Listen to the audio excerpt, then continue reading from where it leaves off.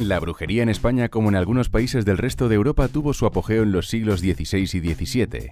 En estos negros años miles de mujeres fueron perseguidas y ajusticiadas por la Inquisición. Este tribunal, con la ayuda de las autoridades civiles de la época, mató a muchas mujeres por el simple hecho de considerarlas brujas aunque no tuviesen pruebas de ello. Las brujas de España se localizaron sobre todo en el norte del país y muchas de estas mujeres eran simples curanderas, aunque en algunas ocasiones existen historias más macabras.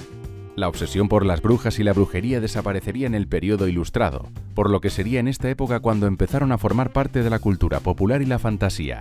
Si quieres conocer las principales historias sobre las brujas de España, este vídeo es para ti. No te lo pierdas.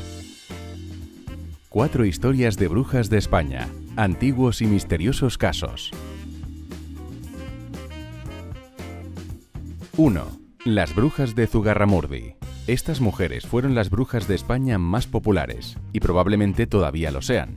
Su historia se ha representado en varias ocasiones en el mundo del arte tanto en el cine como en la pintura. Este pueblo fue uno de los más perseguidos por los inquisidores, motivo por el cual pronto tomó la fama de que estaba plagado de hechiceras. En este caso, que fue llevado por el Santo Oficio de Logroño, 18 mujeres fueron perdonadas, aunque las 11 restantes fueron quemadas en la hoguera por no confesar sus supuestos pecados. El caso comenzó cuando una vecina llegada al pueblo comenzó a contar historias sobre brujería e incluso afirmaba que había pertenecido a un aquelarre. Se empezó a relacionar a algunas vecinas del pueblo con estas prácticas y pronto la Inquisición envió a investigar el caso. Tras la confesión de cuatro de ellas, consiguieron capturar a muchas más. Los vecinos de Zugarramurdi llegaron a declarar que ellas estaban detrás de todas las inclemencias meteorológicas y que traían la desgracia al pueblo. Las pobres mujeres fueron víctimas de las historias de niños a las que dieron veracidad y de un rey francés que quería exterminar a mujeres con la excusa de la brujería. 2. Las brujas de Trasmoz esta localidad es famosa, además de por sus legendarias historias sobre hechicería. Según los habitantes, las brujas de este pueblo situado en el Moncayo tenían el poder de sanar a todo el mundo con poderes sobrenaturales.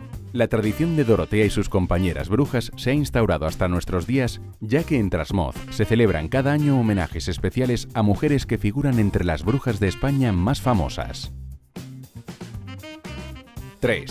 El poblado de Soportújar. Nos trasladamos ahora al sur, concretamente a una población de Granada.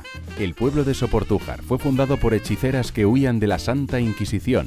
Se cuenta que en él se reunían en aquelarres para seguir practicando sus hechizos. Estas forasteras procedían de Galicia, tierra mucho más propensa a la brujería. Como ocurre en Trasmoz, los actuales habitantes de Soportújar están muy orgullosos de su pasado y celebran año tras año el denominado como Festival del Embrujo. 4. Las Brujas de Coiro. El Morrazo es una península situada en Galicia, que tiene fama de ser de las más mágicas del país. Estas meigas en particular habitaron en San Salvador de Coiro y realizaban sus rituales en la playa llamadas por la campanada del campanario de la localidad.